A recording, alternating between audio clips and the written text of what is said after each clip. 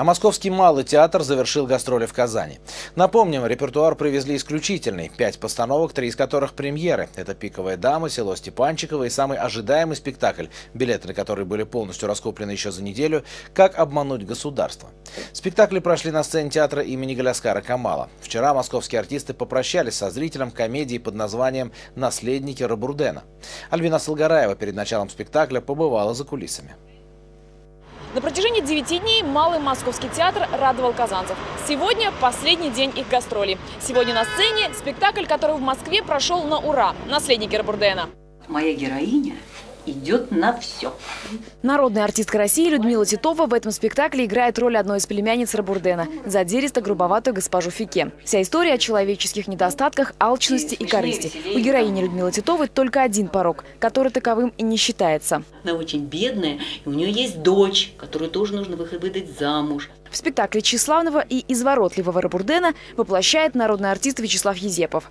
Его герой больше занят поддержанием своего внешнего имиджа, чем переживаниями за родственников, говорит актер. По его словам, сюжет спектакля печально узнаваем. И это настолько бьет по тому, что происходит сегодня. Ну, достаточно посмотреть телевизор, достаточно вообще оглянуться по сторонам, чтобы понять, что мы не выдерживаем испытания деньгами, квартирами, дачами, брат на брата, сестра на сестру. И на этот раз Малый театр порадовал шикарнейшими декорациями. На сцене на этот раз воссоздана атмосфера остатков былой роскоши. Это то, чем главный герой еще может привлечь друзей и родственников. Они не подозревают, что здесь пусто. Что ты кричишь? На сцене что-то среднее между фарсом и водевилем. Сочность актерских красок, откровенные акценты не столько на внутренние переживания героев, сколько на внешней бытовой интриге. Жажда обогащения и нетерпеливое ожидание наследниками смерти близкого человека. Борьба за несуществующее богатство превращает их в соперников, люто ненавидящих друг друга.